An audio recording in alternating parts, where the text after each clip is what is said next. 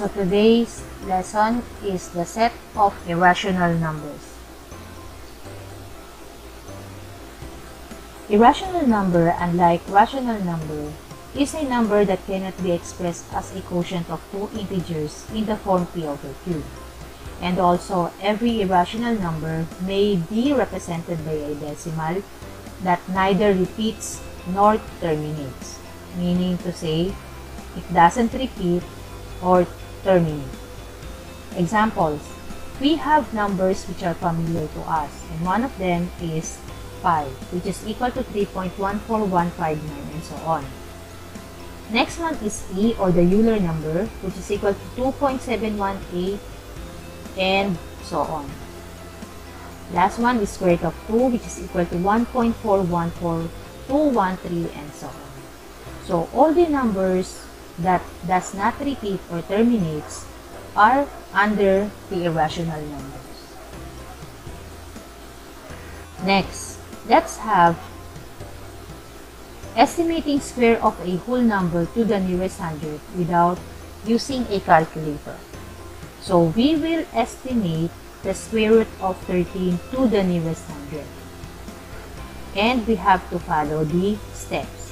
So step 1 is find the two perfect squares closest to the number. So the two perfect squares closest to 13 is 9 and 16.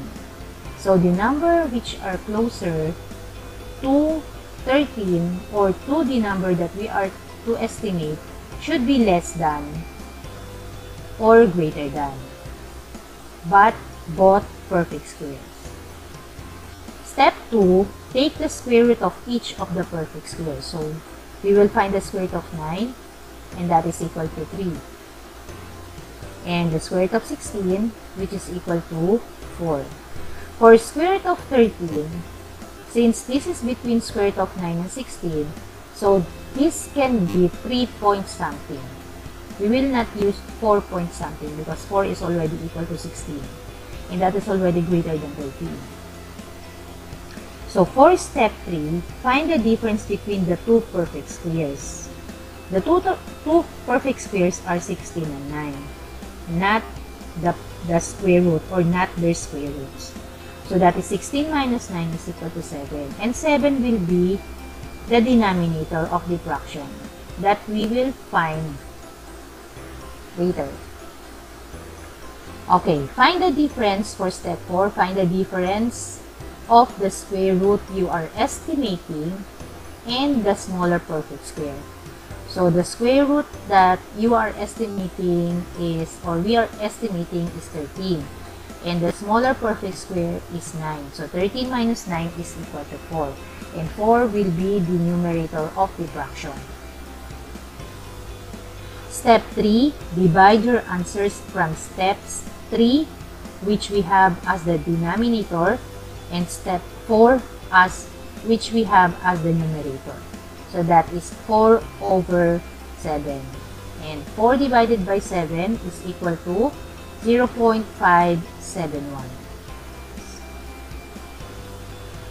The last step or step 6 combine the informations from step steps 2 and 5 for the answer.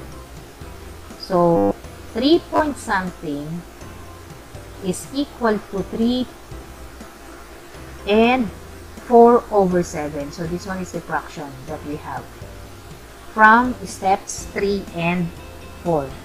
And this one is equal to 3.57 and this one is the is to the nearest hundreds and if we will multiply 3.57 by itself or 3.57 by times 3.57 is equal to 12.74 and 12.74